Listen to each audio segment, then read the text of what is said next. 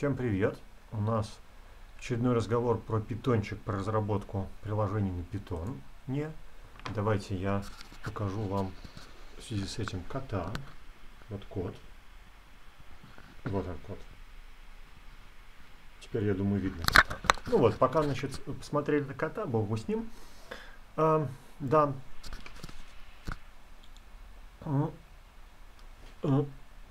Но код это код, а значит, да, дело, дело в другом.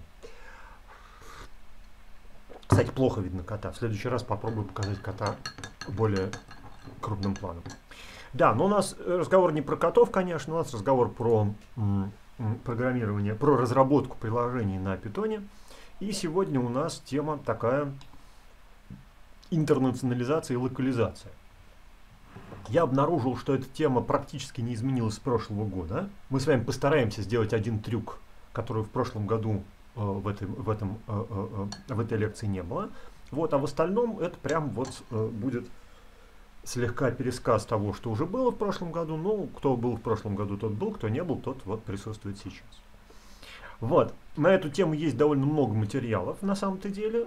Вот, и в частности, трюк, который, возможно, у нас сегодня получится, он у нас был в этом, семестр, в этом учебном году, в прошлом семестре, в лекции по разработке по Linux. Ну, в общем, всему свое время. Если дойдем, значит дойдем. Да, какое-то количество будет бла-бла, потому что, напоминаю, мы с вами перешли от э, стадии изучения каких-то инструментов или технологий к стадии изучения технологий собственной разработки. Вот. И в частности, вот э, и перевода ну на самом деле не только перевода, адапта э, э, культурной адаптации программных продуктов к э, значит, языковым и государ этих самым общественным реалиям. Сразу про термины вас может э, при чтении документации встретиться, э, э, встретиться термин локализация и интернационализация, поскольку эти слова длинные, особенно интернационализация, их привычно сокращают до И18N и И10N, L10N э, соответственно. Да? Значит, если увидите вот такую аббревиатуру, не пугайтесь, это именно про культурную адаптацию. Вот. Эти два термина означают, в общем, примерно не пересекающиеся друг с другом действия.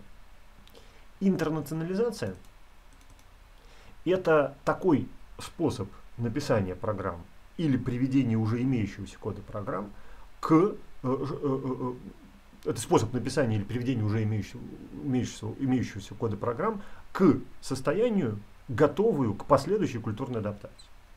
То есть вот у вас были сообщения на английском языке, интернационализация – это возможность сделать так, чтобы в вашей программе без переписывания кода могли быть сообщения на произвольном языке, который вы задаете. Или у вас были иллюстрации с американскими дорожными знаками. Интернационализация – это возможность подсунуть в вашу программу иллюстрацию с там, российскими, китайскими, исландскими, валийскими дорожными знаками. В общем, вот, вот такого сорта, такого сорта эм, работа.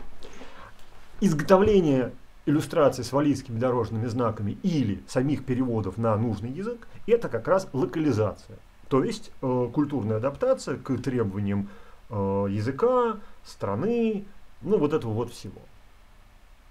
Комьюнити, может быть. Региона. Потому что, например, э, в многих федеративных государствах или таких вот, да, там есть много разных языков внутри одной страны, и, и у регионов есть свои требования. Вот. Значит, ну, собственно, вот. Соответственно, мы с вами сейчас что будем делать? Мы напишем простейшую программулинку, э, ее сначала интернационализируем, то есть сделаем так, чтобы ее можно было переводить, а потом переведем, то есть, сделаем, э, то есть локализуем. Вот.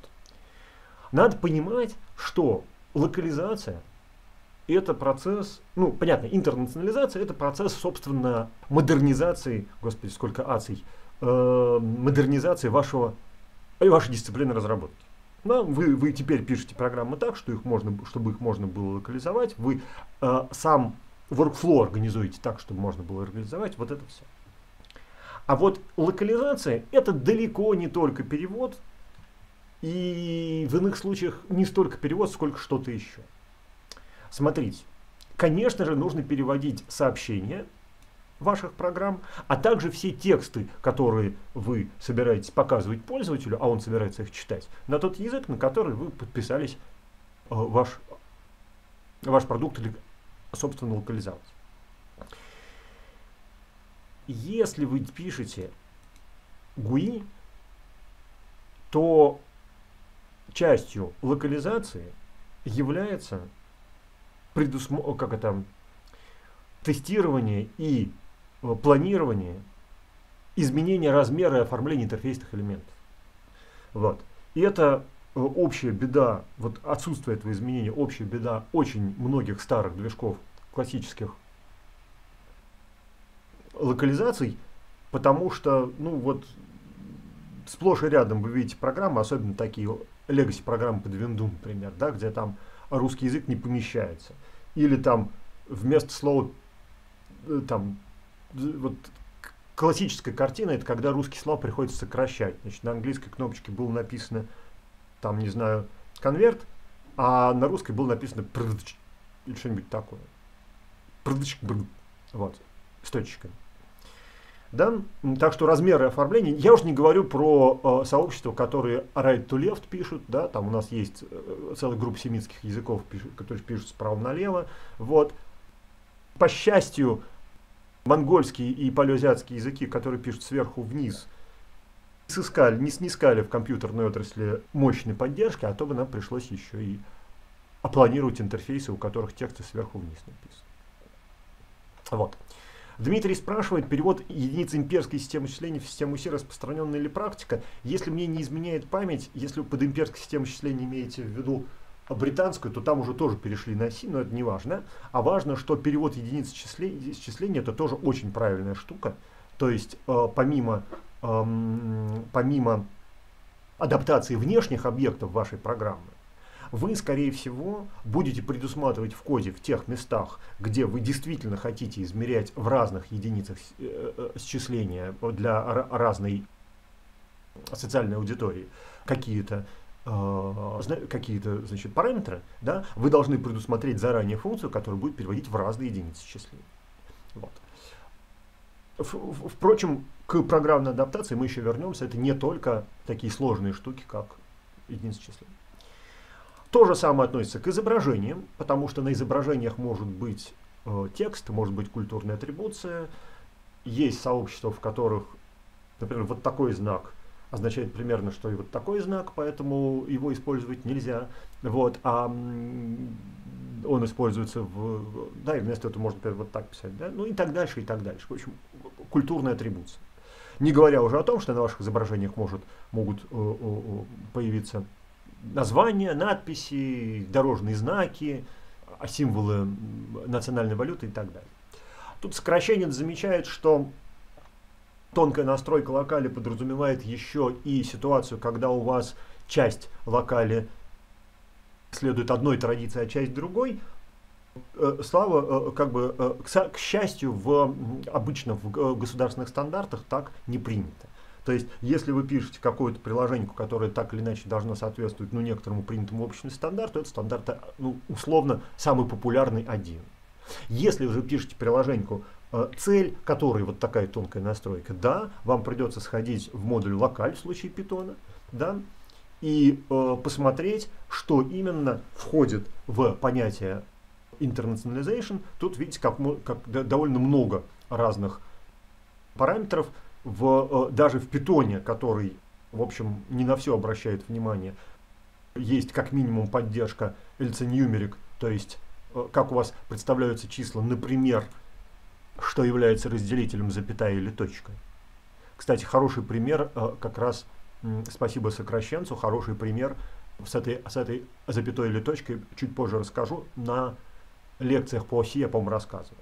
Или группинг да, э, что у вас является разделителем, если вы выдали длинное целое число, там пробел, запятая, точка, подчеркивание, ничего, вот это все. А, нет, создан сепаратор. Ну, короче, вот тут много. Не говоря уже об LC-мониторе, который прям, прям вот описывает как денежный формат в данной стране выражается в чем. Вот. В действительности, давайте мы посмотрим на, посмотрим на, на локаль.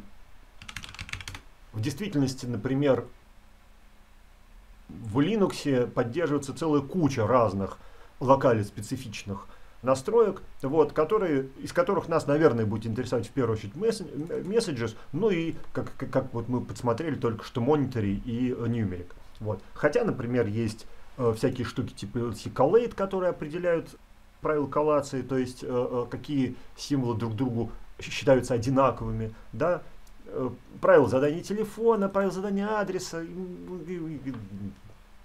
Вот. Наверное, вы настолько заморачиваться не будете, хотя если э, та предметная область, внутри которой вы работаете, требует этого, этой заморочки, пожалуйста, заморачивайтесь, вот вам локаль в руки. Вот, например, опять же, сокращенец приводит, приводит э, ситуацию, когда локаль локалью, а единицы измерения надо задавать вручную, потому что тот, тот объект, с которым мы работаем, может работать с другими единицами измерения. Вот может. Вот. Пример с лиценьюмерик состоит в том, что если у вас локаль предусматривает запятую в качестве разделителя дробные целые части, ни в коем случае не пытайтесь просунуть эту локаль в какие-нибудь форматы э, данных типа PDF, постскрипта и всего остального, потому что там э, э, разделителем считается, естественно, точка. Вот классическая болезнь, которую на протяжении десятки, десятка лет начинали болеть, и потом выздоравливали все программные продукты. Да? Это запятая в русской, датской еще каких-то локалях в разделителе между а, значит, целой дробной частью, которая пролезала туда, где запятую никто не ждал. Вот, значит, это что касаемо, что касаемо параметров чувствительной к локали. Значит, еще что, управляющие клавиши, понятное дело. Всевозможные ссылки на внешние ресурсы, это относится, конечно, в первую очередь к большим программным продуктам или хорошо диверсифицированным сообществом. Когда вы хотите сказать, ну, сходите там на Debian Russian, чтобы узнать что-то про Debian, или там обращайтесь в техническую службу, службу техподдержки конкретной страны, в которой, значит, есть присутствие вашего продукта, бла-бла-бла. А иногда и шрифты с собой приходится носить. Вот. Это все относится к локализации исключительно программных продуктов. В действительности помимо программных продуктов, локализации также подвержена вся документация, в том числе и та, которая из программы не показывается, а просто приезжает в виде какой-нибудь HLP файл или что-нибудь такого. Все непрограммные данные, ну, например, шаблоны документов, формочки, какие-нибудь, э, значит, за шаблоны запросов, вот Короче, данные, которые вы приносите своим приложением, внезапно тоже могут оказаться локально зависимыми. Вот. Ну и, разумеется, вся printable документация, все, что вы, вся сопутка, которую вы собираетесь распространять в том месте, где вы распространяете вашу, ваш программный продукт, тоже должна быть переведена, и это тоже э, от вас, как от разработчиков, э, требует, разработчик в смысле, в большом смысле слова, как от бизнеса, да, требует уделения этому внимания. Предположим, у вас есть ресурсы по переводу, то есть переводчики, у вас есть программисты, которые понимают в internationalization, вот, и вообще, как бы с э, Human Resources у вас все нормально по части перевода, ну, по части интернационализации, локализации. Э, какие инструменты могут вам понадобиться? Э, кажется, я про два из этих инструментов говорить сегодня не буду. Тут у меня прям todo стоит, но я, к сожалению, у меня очень пониженная работоспособность последнее вот, время, и не справился я с этим todo шкой. Может быть, если кто-то из здесь присутствующих возьмет на себя, там очень коротенький research, вот, возьмет на себя это, я буду крайне благодарен. Я отмечу это место, мы просто увидим. Итак, инструменты локализации, которые могут нам понадобиться в процессе работы. В первую очередь, это память перевода и общие словари. Идея состоит в том, что когда вы работаете над одним конкретным проектом, и он небольшой, ничего не стоит перевести все строчки из этого проекта. Когда вы работаете над большим проектом, и у вас там не один человек, а возможно у вас и не, одна, не один проект, а целая компания, которая занимается пользовательским каким-то ПО с довольно масштабным переводом и масштабной э, э, локализацией, то возникает логичная идея минимизировать усилия переводчиков, а, и минимизировать умственные усилия пользователей, б, чтобы одна и та же сущность в переводах внутри разных программных продуктов и разными переводчиками не называлась по-разному. Ну, грубо говоря, чтобы менюшка файл всегда менюшка была файл, менюшка сохранить всегда называлась сохранить, вот, эм, а там, не знаю, какой-нибудь тег везде назывался тегом, или наоборот, везде назывался ярлыком, и не было такого, что в некоторых он называется тагом, в некоторых тегом, в некоторых ярлыком, а в некоторых закладкой, да, один и тот же, одна и та же сущность по- по-разному переводится. Вот эта штука называется память перевода, translation memory, и у профессиональных сообществ трансляторов, э, переводчиков Здравствуйте. Переводчиков такая штука очень в ходу. Например, большие портальные сайты по переводу. Сейчас я в них не воткну, просто, наверное, имеет смысл их упомянуть. Давайте-ка мы, давайте-ка мы где-нибудь здесь вставим ту душечку на следующий раз, на следующий инкарнацию этого курса, что хорошо бы все-таки рассказать про разные сервисы по переводу. Вот.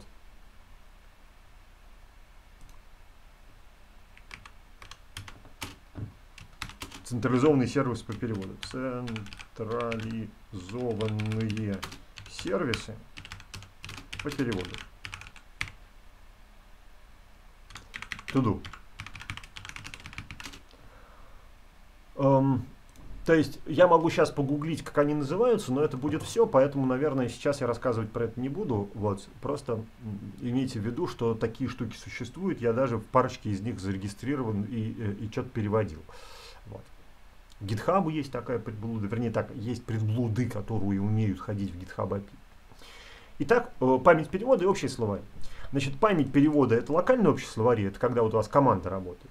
Вообще говоря, время от времени комьюнити, э, комьюнити запускает проекты общего словаря для всего, вот, но что-то как-то они, чем дальше, тем глуше, не знаю почему, казалось бы, наоборот, информационная связанность становится все более всепроникающей, было бы неплохо взять и по принципу Википедии договориться о переводе конкретных терминов. Но что-то мне в последнее время неизвестно об успешных проектах общих словарей.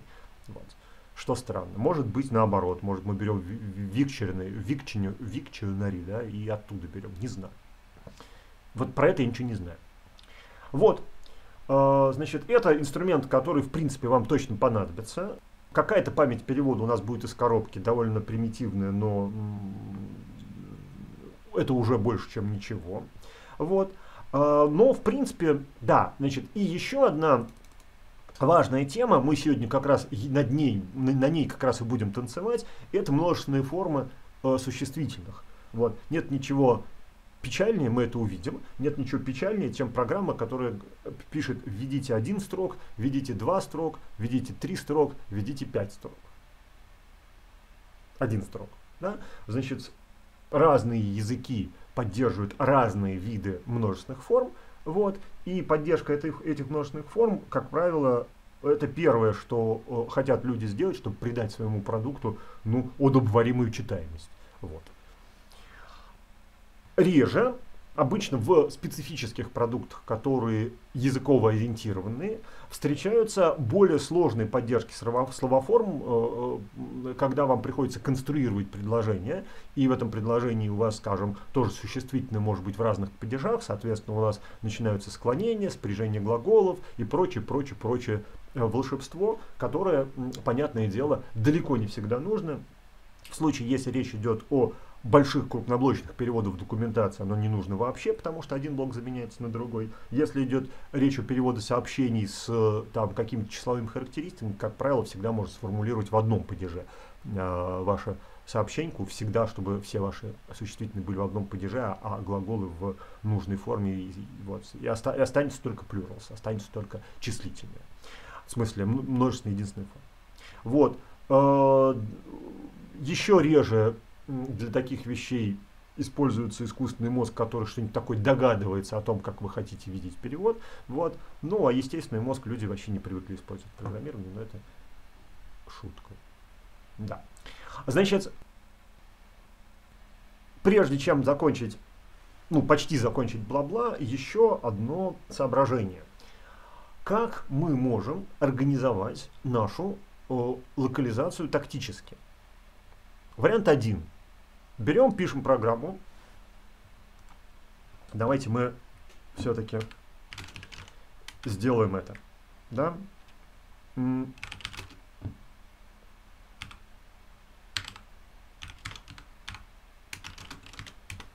Берем, пишем программу, в которой мы пишем что-нибудь типа импорт, сейчас, ну, какой-нибудь такой вот, да,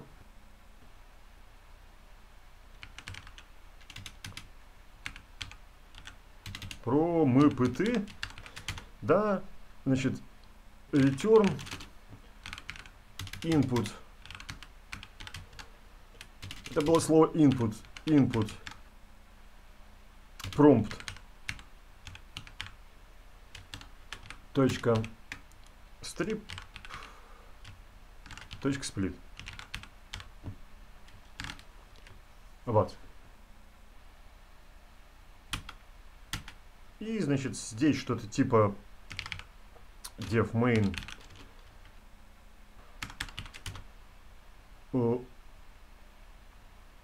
While. Там, не знаю, s равняется. Get от input sequence.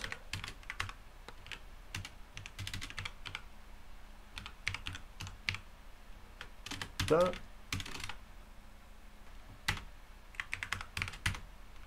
print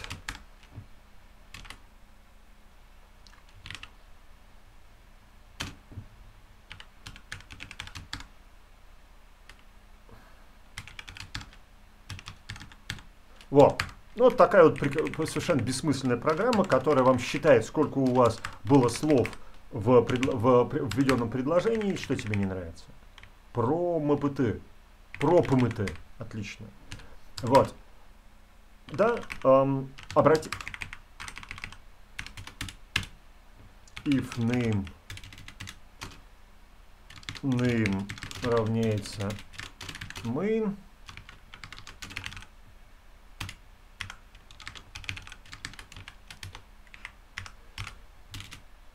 мы. Вот. Значит, вот такая дебильная программа. А, давайте ее запустим. Да.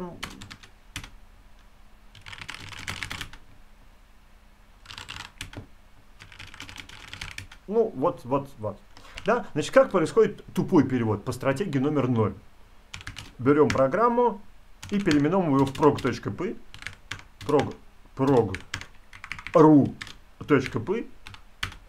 Вот. И в программе ru.py э, а, пишем вместо input sequence введите последовательность.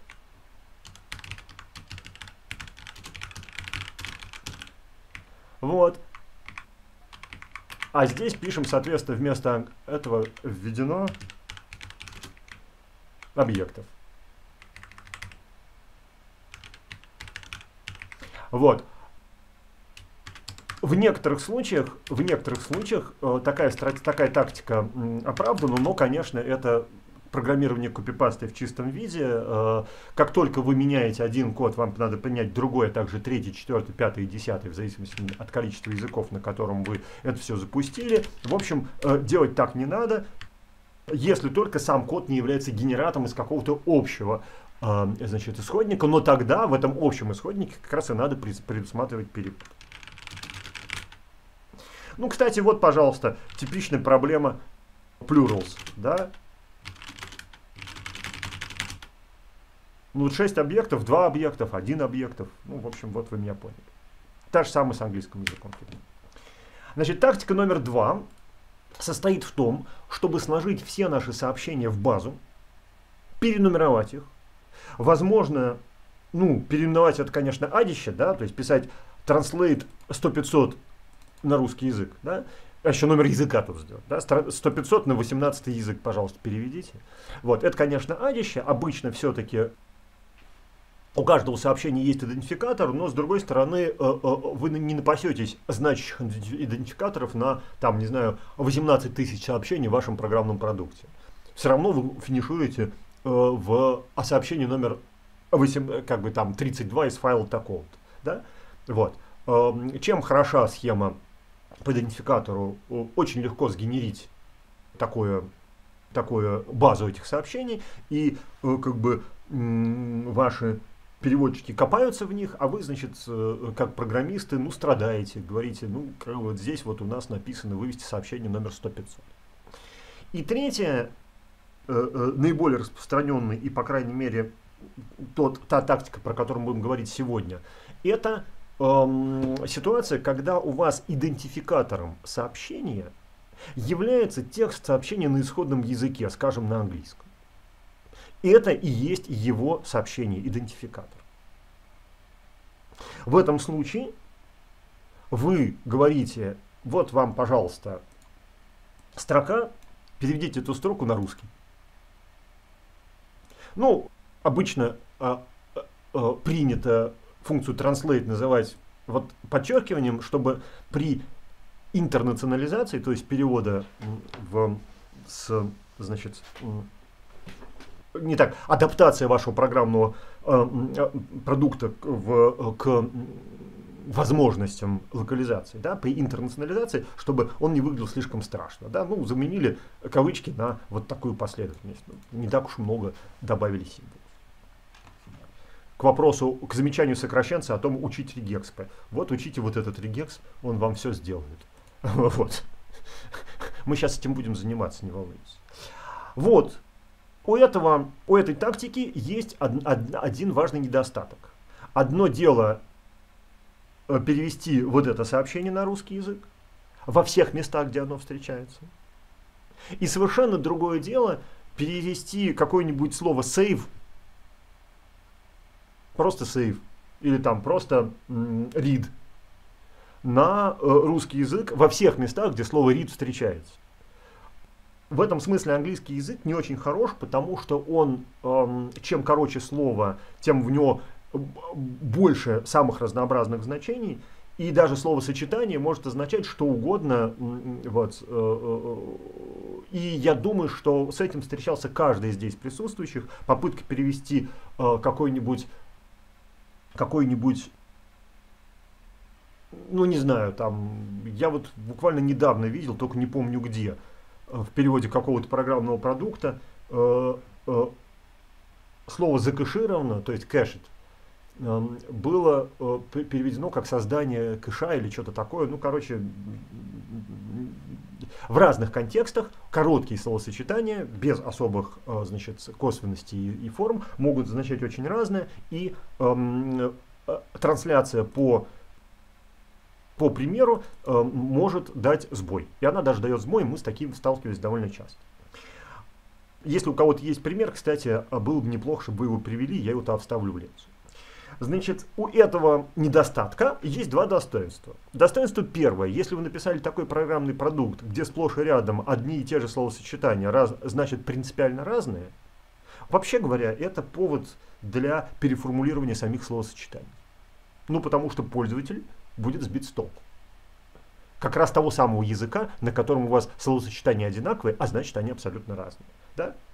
Это первое. Второе. В принципе, можно указать контекст, внутри которого происходит перевод, и просто разнести эти два перевода в два разных контекста. Ну, условно говоря, одно дело, когда вы говорите про файлы, э, файловую систему, объекты э, на диске и так дальше, и тогда слово save будет означать сохранить вот, на диск, да, и совершенно другое дело, когда вы говорите, что это какой-нибудь игровой интерфейс, и вам нужно либо спасти популяцию леммингов, либо, значит, пожертвовать популяцией леммингов ради популяции северных оленей. Тогда сейв будет означать спасти. Вот. Ну окей, значит, вам нужно просто разделить два контекста и делать два разных э, перевода в двух разных контекстах. Все, значит, это, наш, а, это у нас закончился совсем бла-бла. Длинный был, извините, полчаса. Э, началось небольшое бла-бла про встроенный инструмент перевода в фитоне, А потом мы тут же переключимся на здоровенный модуль, э, предназначенный для интернационализации и локализации, э, ну, в основном для локализации, конечно, в питоне, и будем им пользоваться. Встроенный интерфейс перевода в питоне называется getText, такой же, как мы видели в э, курсе по Linux в прошлом семестре. Вот, и пользуется он точно с той же библиотекой, которую просто питон с собой все время таскает. Вот. Ну, то есть не так. В некоторых системах он таскает ее с собой, в некоторых он пользуется системным gettext ом. В общем, это без особой разницы. Вот. У gettext а есть э, довольно приличная, у питонского gettext а вполне приличная API. Вот. Э, все это API мы разбирать не будем. Оно бывает двух видов. Бывает непосредственно упирающиеся в GNU gettext. Мы будем пользоваться именно им. Бывает рекомендованное более генерическое API, которое называется Class Based оно хорошо тогда, когда вы внезапно изобрели свой собственный стиль перевода, вообще не связанный с гид-текстом или связанный с каким-то диалектом гид-текста, например, ГТКшным. Да? И вам э, нужно обеспечить некоторую унификацию. Часть у вас будет переведена так, часть сяк. Вот тогда вы делаете класс, у этого класса будут методы, и, и в силу дактайпинга, в общем, самой системе, системе локализации будет, в общем, все равно к какой конкретно класс пошел э, за переводом и к чему он конкретно пошел. К гид-тексту, к э, гид-тексту или куда-то еще вообще. Разумеется, у, классного мет, у метода классов есть э, э, метод, который ходит непосредственно к гид-тексту, называется GNU Translations. Вот. вот этим всем мы пользоваться не будем, кажется. Эм, значит, ну, в общем. И, э, собственно, методичка по тому, как э, переводить ваши программные продукты, вот этой методичкой мы будем сейчас пользоваться. Но э, мы в этой методичке написано только, как писать сами программы. Вот давайте мы посмотрим на это. Вот вы берете модуль, вы берете, импортите гентекст, в этот гентекст мы вписываете что-то, и все хорошо. Здесь написано только, как сами программы писать. Здесь не написано, как, собственно, заниматься переводом. Наша сегодняшняя тема, конечно же, включает и то, и другое. И, в общем, нам даже интереснее, как заниматься переводом, потому что как писать программы, тут все предельно тупо. Вы говорите import get текст, вы регистрируете трансляцию вот такого домена, обычно он совпадает с именем программы. Говорите, где лежат переводы. Говорите, вот эта функция будет у меня заниматься переводом. И вместо, э, значит, вместо, вместо вызова, вот, вместо вызова обычной строки вызываете вот такую обертку, да, с помощью того самого регекспа. Э, оборачиваете в эту обертку весь свой код, и вот ваша интернетализация готова. Собственно, все. Ну, почти все, есть еще plural forms, но это чуть позже. Да? А вот рабочий процесс перевода, добавления перевода, обновления перевода, обновления перевода обновленного исходника и так дальше, вот это интересная штука. И эта штука, разумеется, поскольку она не имеет прямого отношения к питону, самим питоном не поддерживается, а поддерживается модулем, который называется Бабель. Бабель это не в честь писателя, а в честь Вавилона. Не исключено, что писатель был в честь Вавилона, не знаю. А эта штука предназначена для интернационализации и локализации питонных приложений, а еще JavaScript тоже по ходу. Вот. Значит, давайте мы э, э, э, продолжим издеваться над, нашим, над нашей суперпрограммой. Вот. Давайте только мы все-таки сделаем как белые люди, а не как черные. А, не, не жел, не знаю, вот слово черные люди, это же это самое, сейчас не политкорректное даже не знаю, как сказать. Вот. Пардон, мой этот руднос. Да, так вот, значит, сделаем как, как, э, э, э, как полагается по феншую. А по феншую нам надо, нам надо, значит,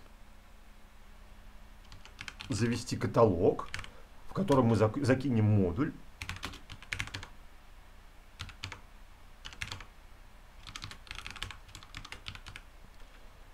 Причем этот модуль у нас будет с мейном, чтобы можно было его запускать. В мейне будет main, а в, в модуле будут в модуле будут будут собственно функции. Да, вот это у нас тут не нужно теперь. Нам нужен только get. Давайте еще сделаем тут же put, dev put что мы put, значит, n, что там, prompt, не prompt, а наоборот, message, да, print message формат. N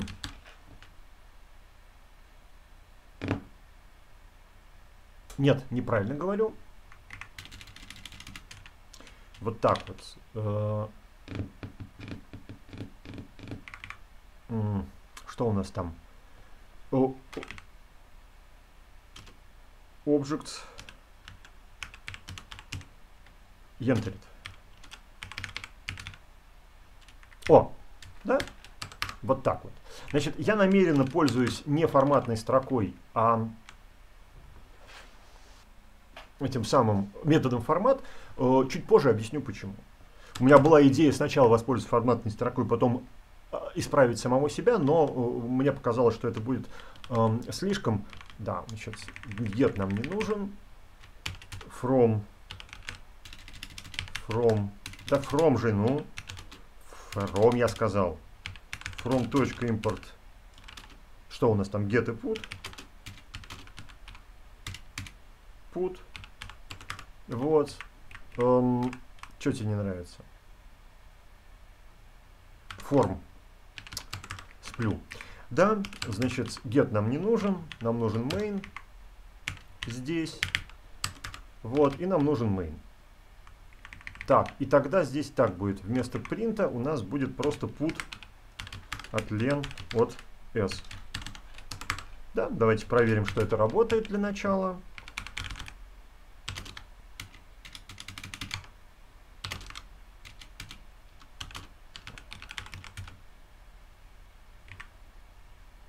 Да ладно, а что есть? Каунер. Что-то я сегодня...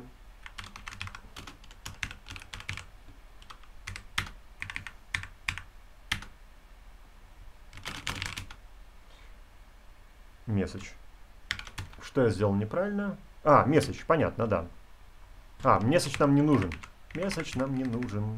Не нужен нам месседж. Вот так вот, да. А, каунер. Да, сейчас, секунду. Я же под капо...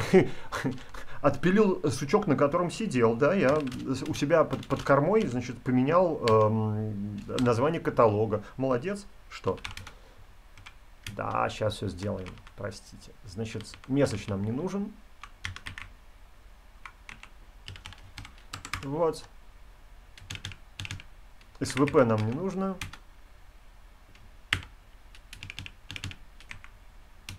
Вот, пробуем.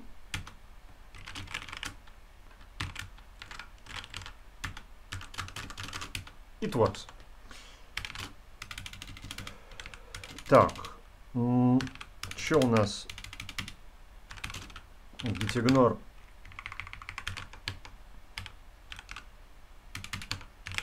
какой-нибудь ПКш нам нужно в гитигнор поставить, да? Да, да.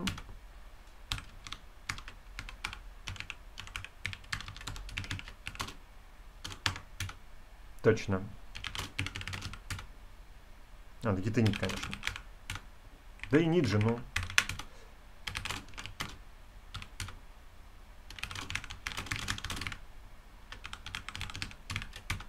Во, шикарно. Вот, теперь мы с вами возьмем, откроем методичку и займемся интернационализацией сначала, а потом локализацией. Для того, чтобы произвести интернационализацию, нам, в общем-то, не нужно э, ничего ставить, и бабель нам тоже не нужен.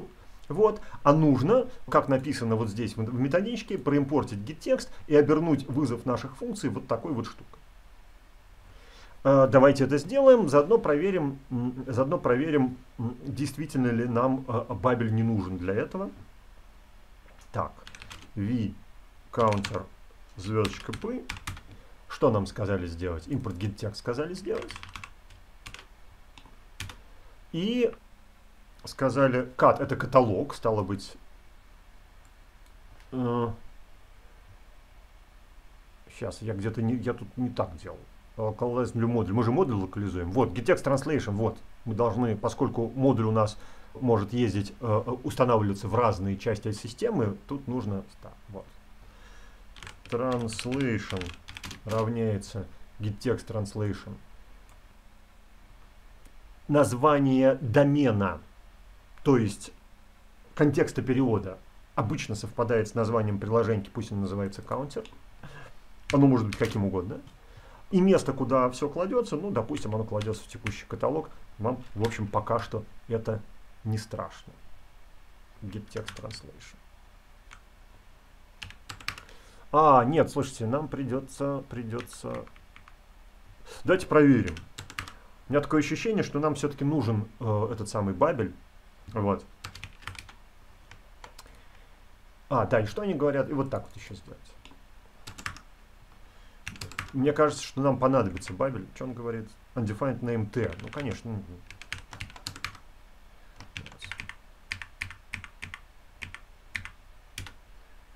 Да. Смотрите, давайте мы вот так вот сделаем.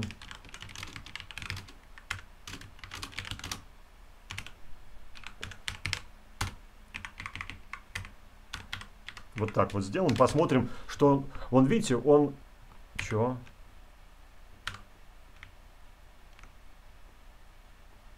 No translation found. А где он его читал? Пытался читать. Сейчас, секунду.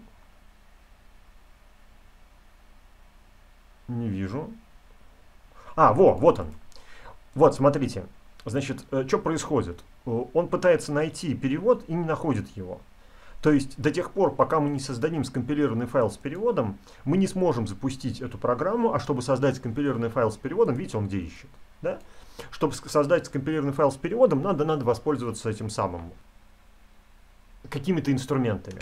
В питоне есть встроенные инструменты, но они э, при появлении э, Бабеля стали, как бы перестали развиваться, потому что Бабель, конечно, в этом смысле более правильная штука. Поэтому мы говорим ppn shell. Вот.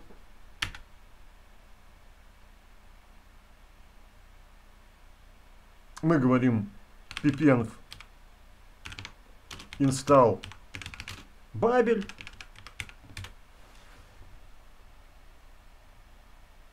Напоминаю, что ppn install это то же самое, что pip install, только он будет откладывать информацию о том, что это нужный, годный, необходимый нам пакет в файле pip файл. О, кстати, неправильно. Ха-ха-ха. Давайте сделаем uninstall. Дело в том, что Бабель нам не понадобится при эксплуатации нашего пакета. Мы можем написать транс, э, нашу локализацию таким образом, что она будет пользоваться Бабелем, но э, в том примере, который мы разбираем сегодня, локализация делается с помощью гид-текста и только гид-текста, вот по этой методичке. Это значит, что, это значит, что Бабель является инструментальной, но не является эксплуатационной зависимостью мы сейчас будем с помощью Бабеля генерить перевод, и этот перевод уже не будет нуждаться в, всем, всем, в, в этом модуле. Поэтому мы вместо install напишем install, ну-ка,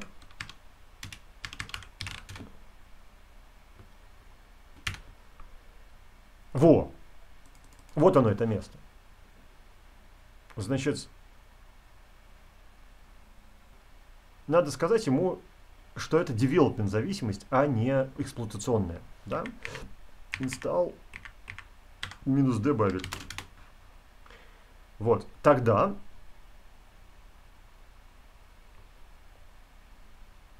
тогда он сделает такое. О, вот это правильно. Значит, э, Пабель не является нашей зависимостью эксплуатационной, но является зависимостью Сборочный, вспомнил. Является сборочной зависимостью, поэтому вот нам надо. Окей, хорошо, значит, сделали. Что теперь? Теперь, значит, надо взять и заняться переводом. Давайте, для этого нам нужно, глядим в методичку по get-тексту. Для этого нам нужно обмазать все вызовы наших функций. Обмазать вызовом подчеркивания Э, подчеркивание в скобочках строчка, то есть вызовом функции переводчика. Давайте это сделаем. не вызов, все, все строки обмазывать вызовом, подчеркни, скобка. Вот. Давайте это сделаем, значит. Вот, значит, сделаем здесь та же самую историю вот тут. Так. Эм, теперь у нас, надеюсь, все будет работать, потому что у нас... А, нет, ничего не будет работать. Вот. Сделаем... На самом деле неправильно я вам говорю. Братцы, смотрите. В действительности надо делать не так. Это я вас обманул. В действительности надо делать вот так. Сейчас покажу. Так, ну, текст нам не помешает. Вот. В действительности надо делать вот так. Сначала, сначала, давайте по фэншуй, сначала надо делать интернационализацию. Для этого мы делаем фальшивую функцию фальшивую функцию arc. Вот. И заменяем все наши текстовые сообщения на, на трансляцию этого самого arc. Значит, что там у нас?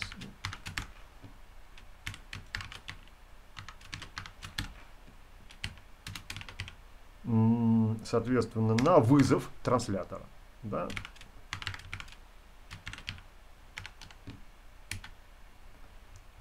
Так, а это не надо.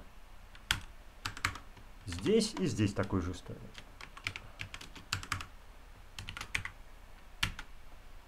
Так, это надо. А больше не надо. Что тебе не нравится?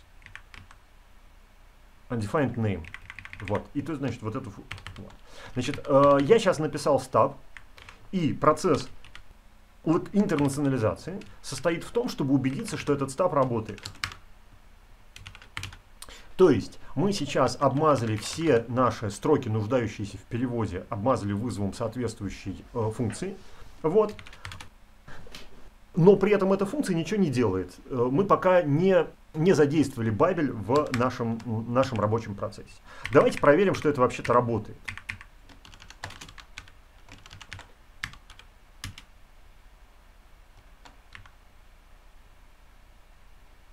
Ну вот, да, вот эту вот команду. Давайте проверим, что это вообще работает. Оно работает. Шикарно.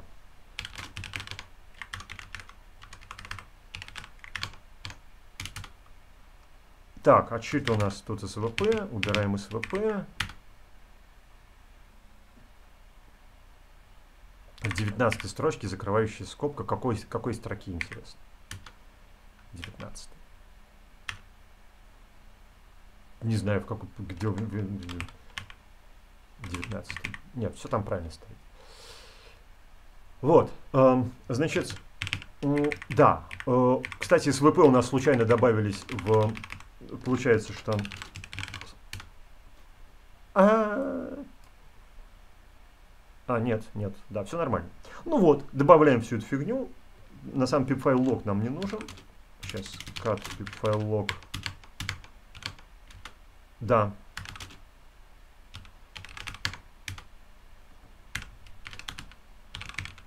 Pip-файл нот нам не нужен, остальное...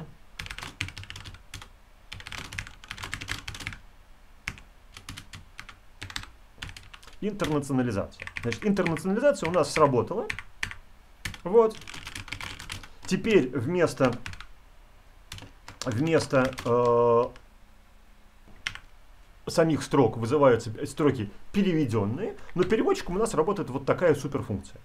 Вот сейчас мы задействуем инструмент Бабель, переведем всю эту фигню, уберем эту функцию и раскомментируем то, что написано сверху, потому что Бабель нам сделает переводы, а переводы тогда уже можно будет хватать гид-текстом и, собственно, переводить. Так. Бабель, Пипенов, Бабель. Так, смотрим прямо в план лекции, там чуть ли не конспект, э, как это делается, написан. Первым делом мы выковыриваем. Да, значит, э, по ходу я буду объяснять формат get-текста, потому что предполагалось, что я где-то раньше его объясню, но нет. Выковыриваем все строки. обмазанные конкретно подчеркивания скобочками, из нашего питоневого кода просто с помощью команды pbabel выковырить. pbabel, сейчас только рехаш скажу, вот, pbabel, экстракт.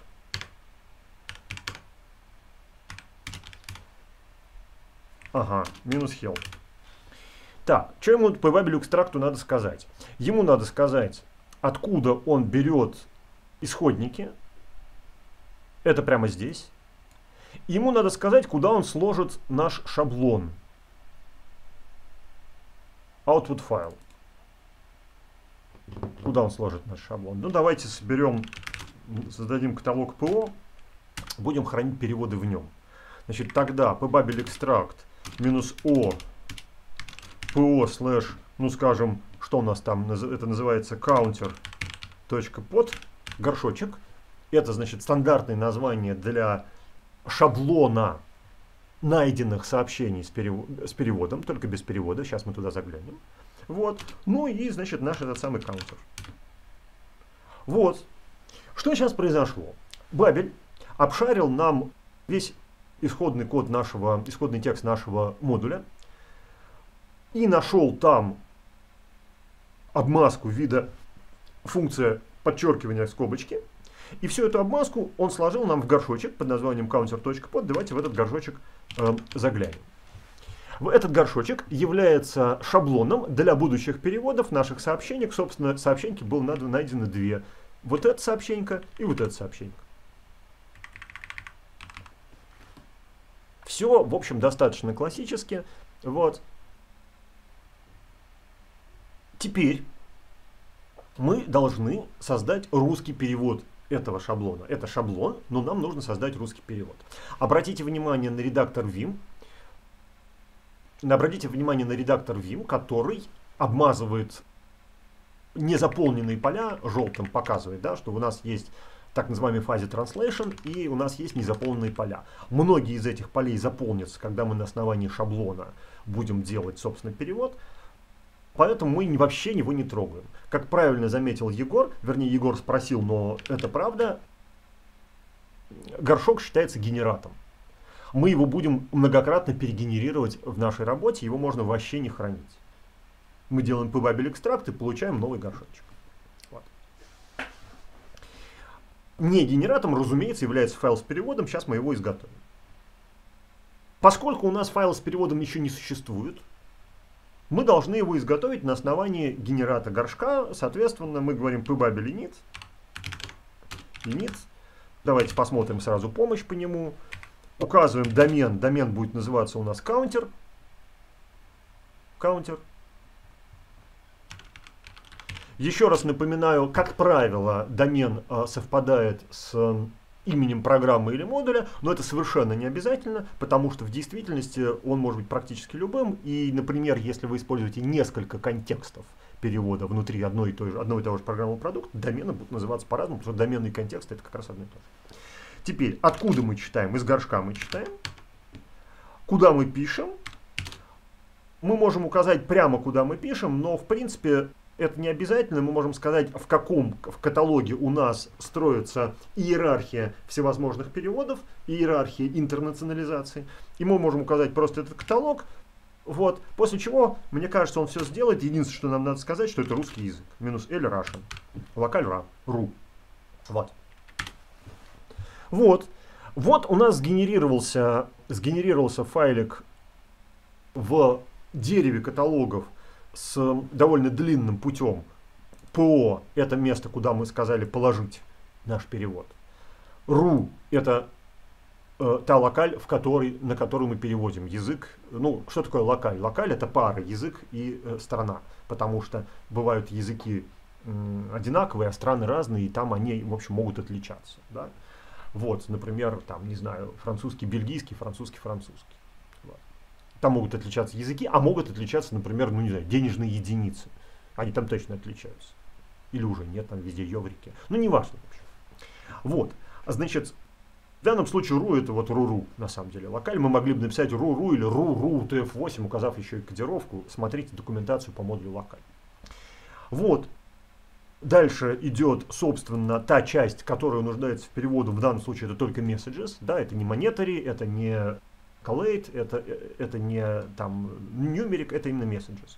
И вот в этом messages содержится файл с переводом, в который мы сейчас заглянем.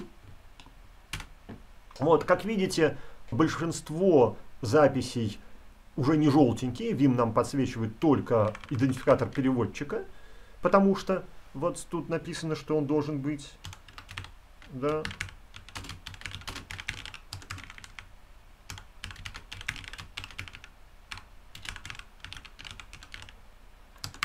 Вот. И теперь все совсем хорошо. Что, как, что такое файл с переводом?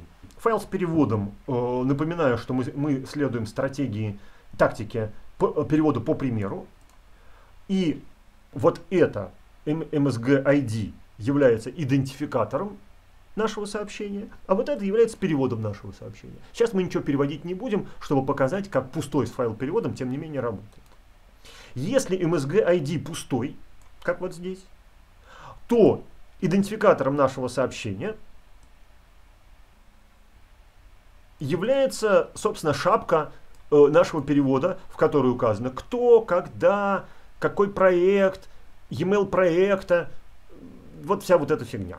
Вот этот какой проект и e-mail проекта на самом деле мы могли, давайте я вам это покажу, мы могли сгенерить с помощью не нита, а с помощью экстракта. Сейчас покажу, где это было. Ну, сейчас это делать не будем для экономии времени. Просто это. Во. Project, version, э, copyright, bugs. Вот все эти поля в горшке генерате можно было задать э, из командной строки, э, из командной строки, когда мы говорили про Babel Extract.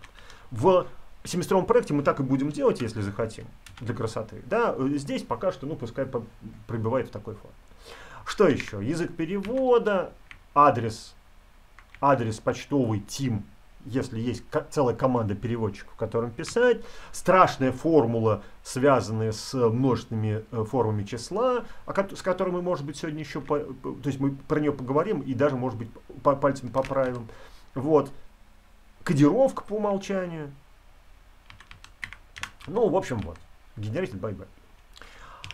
Вот после этого мы можем смело убирать наш, нашу заглушку и раскоменчивать наши эти самые, наши,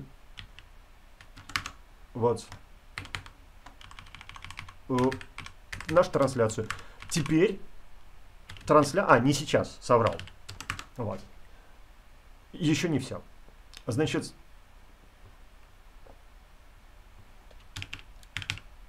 если вы помните, когда я говорил strace, я вам говорил, что нету трансля... нету переводов. Он искал файл под названием .mo. Мы сейчас редактировали файл под названием .po, а он искал файл под названием .mo. Файл под названием .mo это скомпилированный перевод. Почему перевод нуждается в компиляции? Перевод нуждается в компиляции вот из-за этого. Здесь написано некое выражение в синтаксисе C, э, в синтаксисе C, значит, которое по числу определяет, какую из словоформ мы должны выбрать. Для того, чтобы эта штука работала, нужна некоторая простейший конечный автомат, который анализирует, собственно, и как бы э, парсит вот это выражение, его выполняет. Вот этот конечный автомат и является частью нашего mo файла, и им им, этим mo файлом, собственно, э, как бы и в этом mo файле эта логика заложена. Поэтому для того, чтобы э, подсунуть перевод к нашей программе, нужно еще его скомпилировать. Для этого служит, естественно, командочка pbabel compile.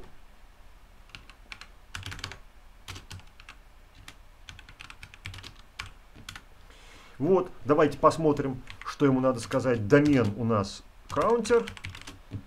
Каталог, в который положится результат результат. Ну, допустим, пускай тоже ПО, мы сейчас не... Э, мы сейчас не занимаемся адаптацией вот этого дерева каталогов к классической модульной структуре, пускай лежит здесь, минус L локаль ru, мы собираемся скомпилировать русский файл, и мне кажется, этого достаточно. А сейчас произойдет что? Сейчас у нас скомпилированный вариант ляжет прямо рядом с исходником.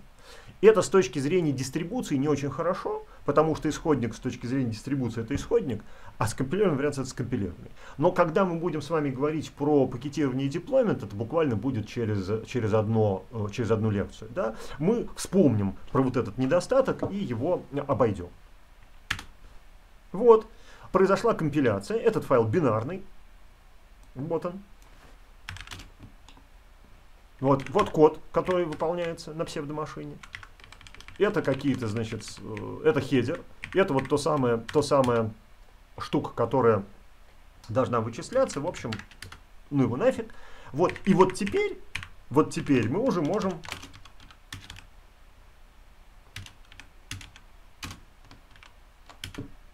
Нет, еще не можем.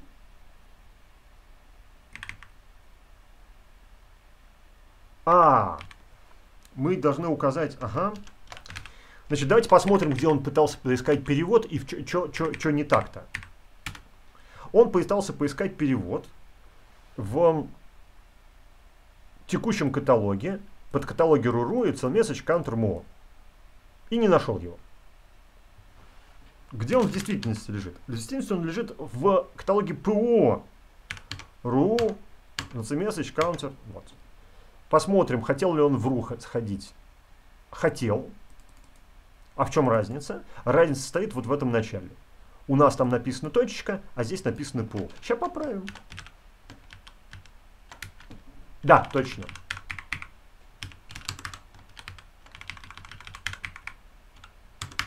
О, вот теперь даже можно ничего не перекомпилировать. О, все работает. Ну что значит все работает? Перевода как не было, так и нет. Но это э, почему так? Давайте мы сейчас Сделаем тогда вот так вот. И закоммитим это безобразие.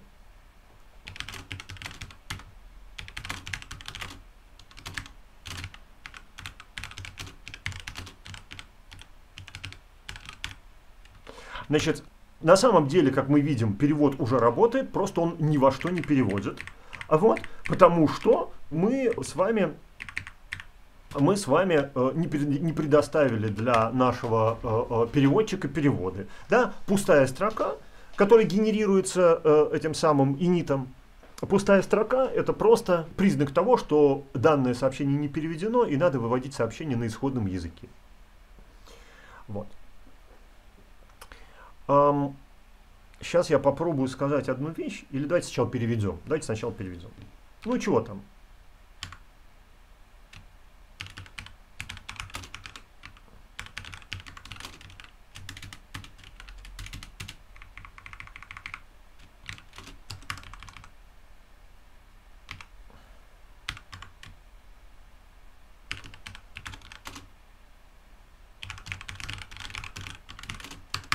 Вот, вот вам перевод.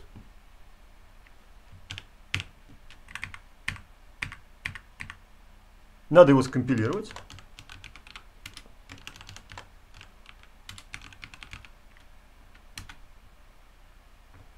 Все клево. Упс, it works.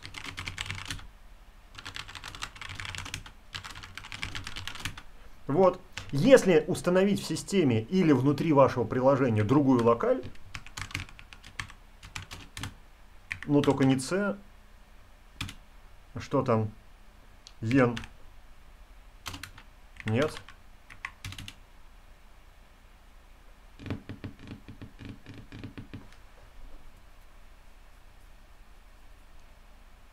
О, как интересно. В такой форме, видимо, он Дефолт локаль не умеет. О как. Фу.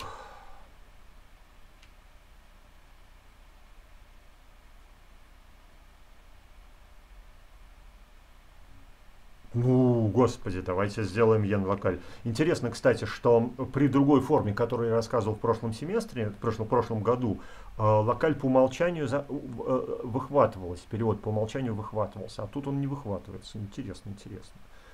Как же это так? Ну ладно, что, как бы, давайте тогда это будет мой долг, потому что у меня сегодня еще есть одна интересная тема. Давайте мы тогда сделаем что? Давайте мы сделаем второй локаль.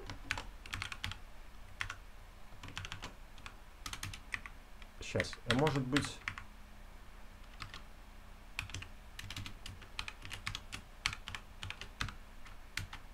Не, не умеет.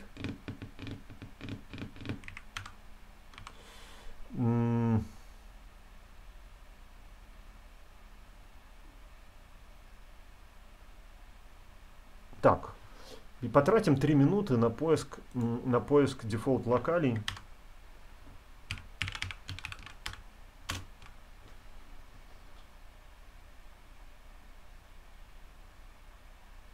Потому что мне... А, бинтекст домен. Да.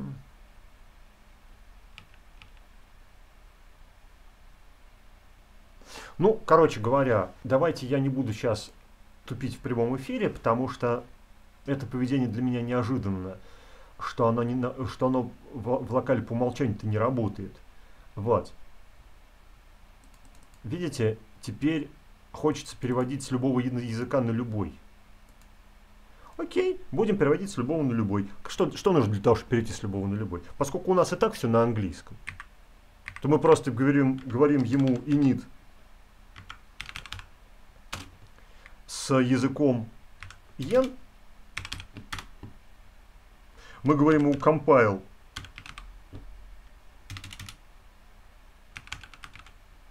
с языком yen вообще не глядя, потому что у нас все те самые формы там э, одинаковые. И мы говорим LCL равняется EL, и он работает. Да? Нам не нужно переводить с английского на английский. Вот. О! Вот это уже вроде как хорошо. Так, давайте посмотрим, что у нас говорит, ой, что у нас говорит git статус. Он говорит, что у нас есть перевод. Git, а, так, только мо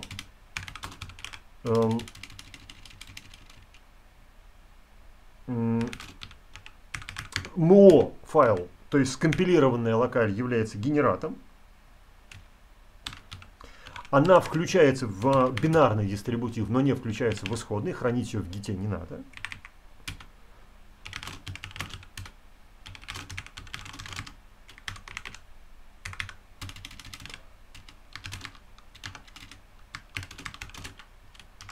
Вот. И теперь у нас работает и английская локаль, и русская. Давайте говорим use Babel.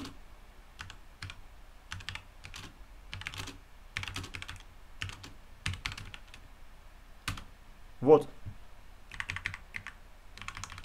Такая вот картина. Да, совершенно справедливо. Сокращенец тут замечает, что это не очень хорошая штука. Каюсь, я почему-то считал, что все должно работать как работает, и у меня где-то, значит, старый проект работал. Это мой долг на следующий раз. Я узнаю, как сделать так, чтобы дефолтная локаль подключалась.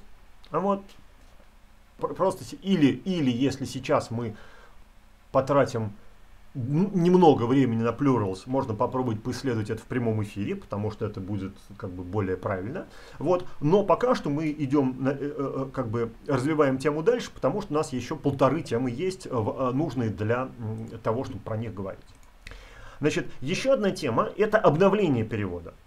Предположим, мы развиваем нашу программу. Вот, И что-то делаем, ну там, не знаю, частично ее как-то вот поправили сообщеньки. Неважно как. Или нет, давайте мы вот так вот значит, здесь оставим, а здесь вот enter sequence напишем. О, Давайте мы попробуем обновить теперь и наш э, перевод. Чтобы обновить перевод, надо пере, пере, выпустить, пере, вык, перевыковырить все сообщения обратно в горшок, потому что, возможно, их стало больше, или, возможно, они стали другими, у них изменились идентификаторы. Поэтому сначала экстракт.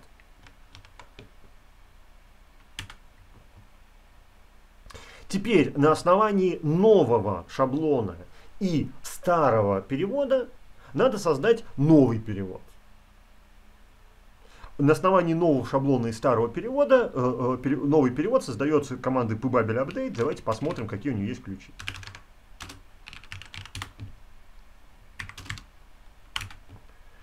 Так. Э, ну, это примерно такая же, как init. Да. Pubabel update. Update. Минус dcounter – это домен. Минус i – это горшок. Минус d – в каком каталоге мы формируем результат. Ой. Минус localRu. Что у нас еще тут есть?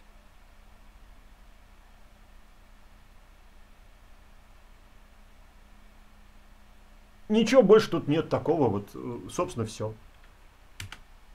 О, Давайте еще ему скажем что-нибудь типа минус-минус статистику. Он умеет такое делать?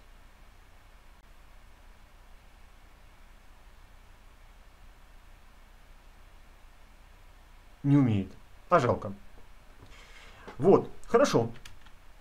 Скомпилировался. Давайте мы на него посмотрим. О, смотрите, что произошло.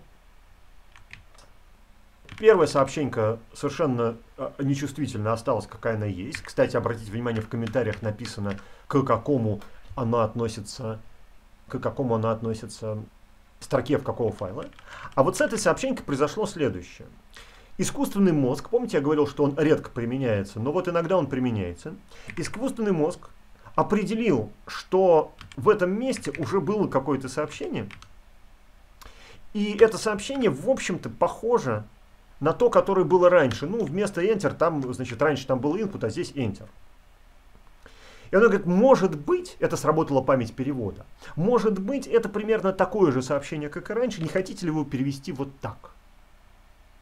Мы такие, ну, не знаю, а что будет, если ничего не трогать? А давайте проверим.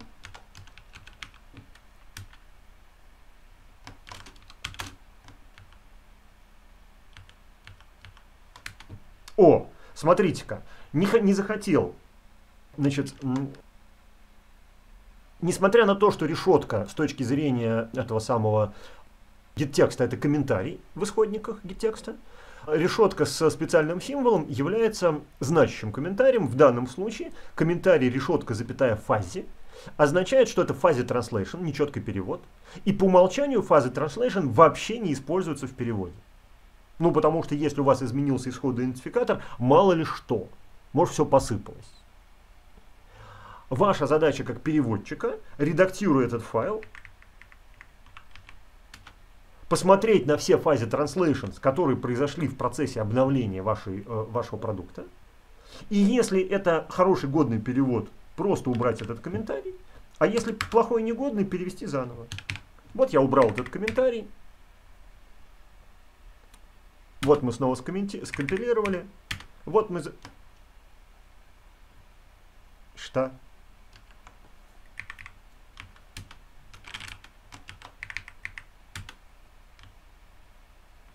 Не понял.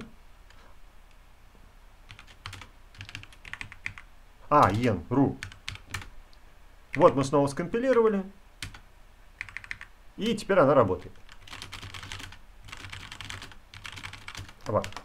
Такое, такое вот дело. Значит, в этом смысле удобная штука. Идея состоит в том, что как, каков бы, насколько не был бы устаревший ваш перевод, те объекты, которые в нем соответствуют идентификаторам, будут переводиться, а те, которые не соответствуют, не будут. Последняя большая тема на сегодня – это множественные, множественные формы. Давайте мы это все... Мы это все... О, кстати, у нас каунтер лежит в этом самом, да? И это неправильно. Под файл не должен лежать. Вот.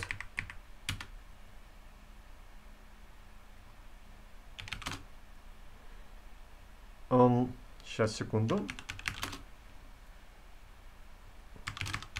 Сейчас git... А, не нужно, да? Git commit.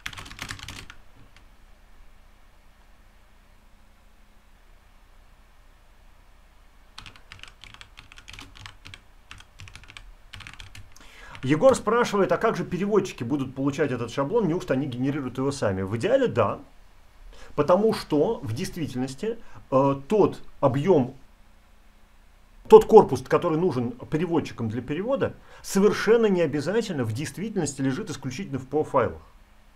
Да?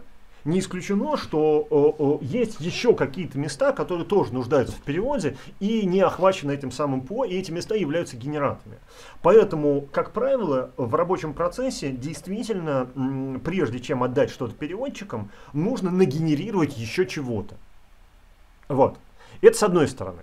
С другой стороны, на самом деле переводчику не нужно этот подфайл иметь вообще, потому что переводчику уже приезжает вот этот ПО сгенеренный вами же, просто вы его не трогали. Да? Если вы хотите разделить команду переводчика, команду разработчиков, просто э, э, ту часть, которая генерит недопереведенные ПО, делает разработчик, и в частности, э, э, в этот момент он и генерирует свой под. Вот. Потом этот под не нужен.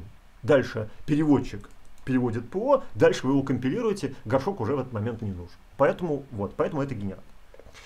Эм, так, э, значит, э, последняя на сегодня тема, сокращенец, я отвечу на ваш вопрос, потому что это сейчас у нас возникнет, это множественные, множественные формы. Смотрите, с множественными формами у нас, в общем, фигня творится.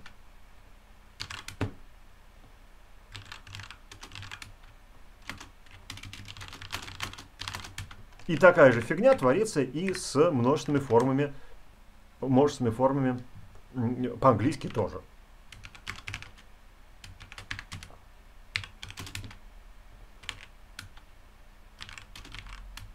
Вот, один объект. Для того, чтобы исправлять, исправить это дело, существует э, понятие plural forms.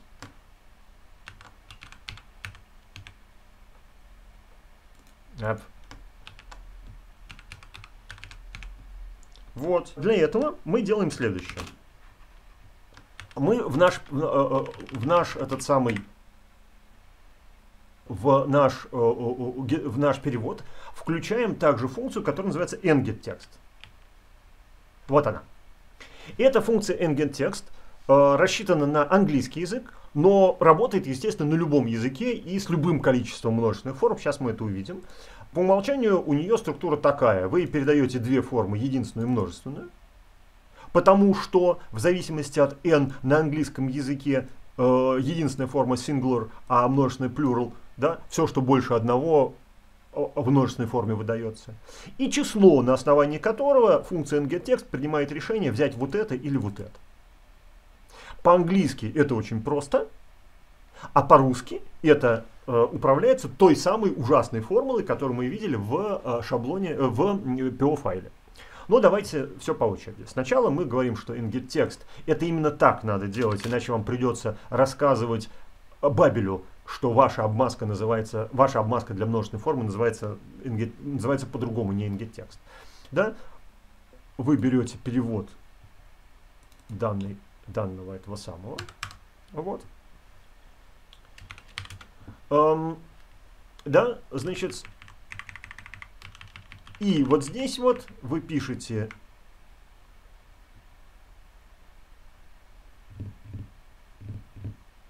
вместо этой штуки пишите ngText. Дальше один объект. Ну, давайте сделаем вот так.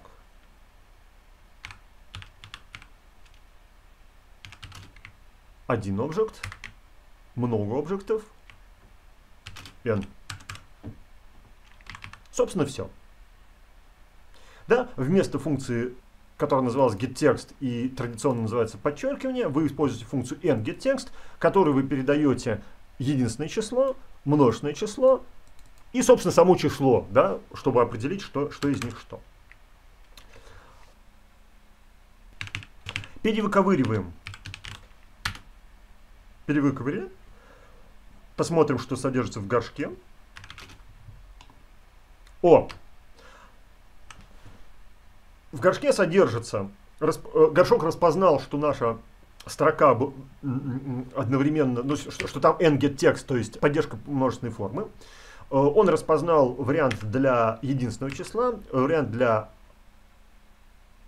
множественного числа и два варианта перевода, которые в данный момент, опять же, никакого значения не имеют, потому что это только шаблон. Давайте сгенерируем update русский перевод. Вот. И посмотрим, что там с русским переводом.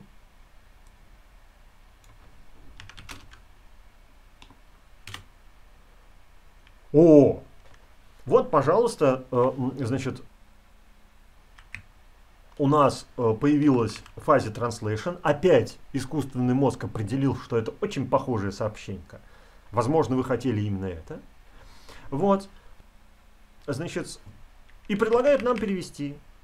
Обратите внимание на то, что форма русского языка предоставляет три множественные формы. Один объект, два, три, четыре объекта, пять объектов. Да? И вот эта вот формула, тут так и написано. Три варианта. Первый вариант, если э, единственное число, если 1 или 21, только не 11. Малое множественное, двойственное число, если 2 от 2 до 4, остаток отделения на, соответственно, 100, только не 14. Да? И в остальном случае э, это большое множественное число. Э, тут э, сокращенец просил попросить запустить перевод с фазе translation в правильной локале, а то же мы по, в английской локале запускали. Да? Ну, давайте еще раз это сделаем. Значит, вот мы его обновили. Здесь у нас в фазе. Вот мы скомпилировали. Вот мы запустили.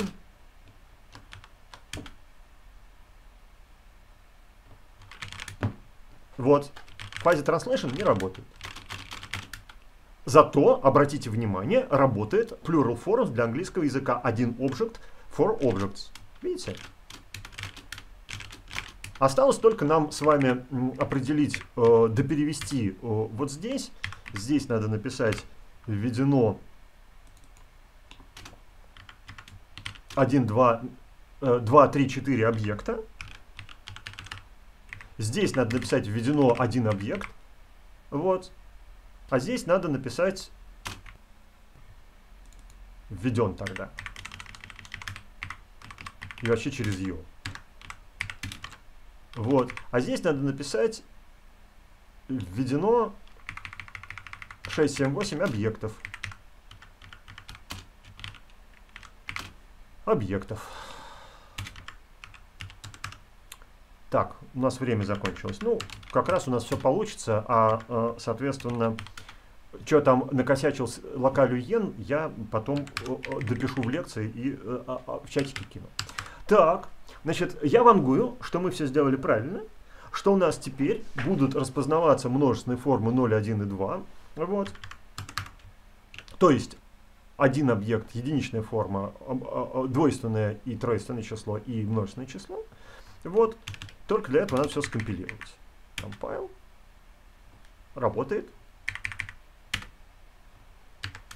Один объект. Два объекта. Семь объектов. Давайте ради прикола 21 объект сделаем. Раз, два, три, четыре, пять, шесть, семь, восемь, девять, десять. Раз, два, три, четыре, пять, шесть, семь, восемь, девять, двадцать. Один. Двадцать. Да что ты будешь делать?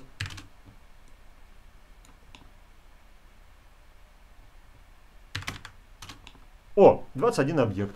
Видите? Значит, вот эта магическая формула, которую мы с вами наблюдали, вот, вот это вот, да, она как раз э, отвечает, если ее аккуратно прочитать по законам языка программирования C, она как раз отвечает за то, какой из трех вариантов будет выбран.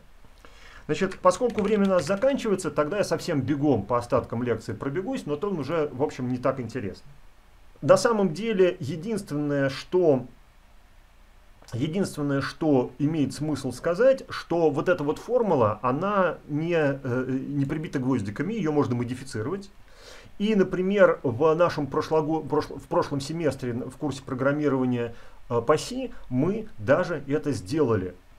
Мы переписали такую формулу, чтобы для одного объекта она пропускала число, а для 21 объекта, 121 объекта, 1021 объекта, она это число не пропускала.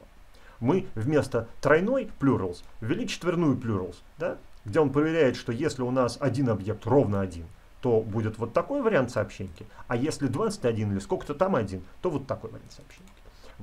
Э, я планировал сегодня на лекции это тоже сделать с питоном, но, видимо, не судьба. Вот. Я, может быть, сделаю это в качестве, значит, обновления лекции или в следующий раз. Вот. За мной, значит, должок э, э, разобраться, как включать трансляцию по умолчанию, если таковой нету. Вот. А пока что задавайте вопросы. Если несколько числительных, у них есть несколько переводов. Каждая, каждую строчку с числительным надо оборачивать переводом, а потом склеивать. Понятное дело, что вы не можете предусмотреть как-то декартовое произведение всех возможных сочетаний, всех возможных множественных форм. Вот. Еще вопрос. Домашним заданием э, Домашним заданием по этой части является, как теперь уже обычно делается, поддержка, внедрение поддержки перевода в ваш семестровый проект. Те из вас, кто э, задумал семестровый проект вообще без юзер-интерфейса, то есть э, не нуждающийся в переводе сообщений, э, страдайте, потому что вы должны будете переводить документацию. В Сфинксе есть прекрасное э, руководство, как именно с помощью гид-текста переводить документацию. И вам придется сделать это хотя бы отчасти. Напоминаю, что требование абсолютно полного переведения всего или абсолютно полного обмазывания тестами всего и так далее, и так далее, не, или абсолютно полного документирования всего не стоит. Вы должны показать на примере там примерно ну, около пяти, как минимум пяти э, сущностей, что вы владеете соответствующим инструментом. Вот.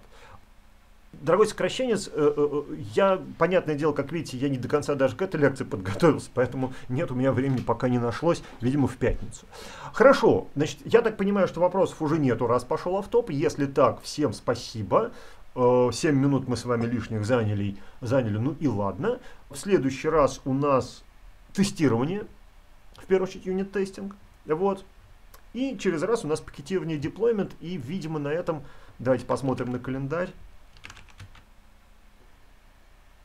Мы приближаемся к концу апреля, в котором у людей, у людей защита. Поэтому, значит, посмотрим. Да, вот. Там будет еще публикация на pp, оформление публикации и э, CI. Ну, вот и на этом будет все. А дальше у нас уже произвольные темы. Все, значит, вопросов больше нету. Спасибо. Всем всего наилучшего. Давайте надеяться на лучшее. Вот. И, э, соответственно, до новых встреч в эфире.